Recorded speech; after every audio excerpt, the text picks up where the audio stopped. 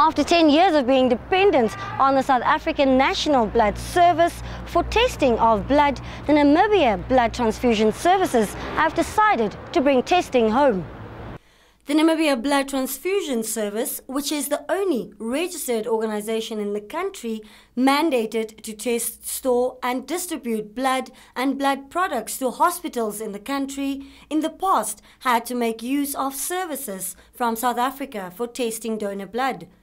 We've got serology here, we've got the NAT testing here, together with Alex, and we are very proud since it's the 1st of February this year all the testing is being done in-house. A very, very important date in the Namibian calendar, both, both politically as well as for the NBTS. Now, after we've been for 10 years with SANBS, and let me tell you that things went very, very well, but they were not without hiccups. Samples had to be sent on a daily basis to SANBS, South Africa, Sometimes a plane breaks down, then there are no samples, then we get our tests late because they have to be sent the next day. Sometimes wrong boxes are being picked up here. Then there are also no test results, so we have to wait for a day before that blood could be released. So it was not without hiccups. The decision to purchase the sophisticated equipment was carefully considered as factors such as finances, expertise, laboratory services, and structural constraints were all taken into consideration.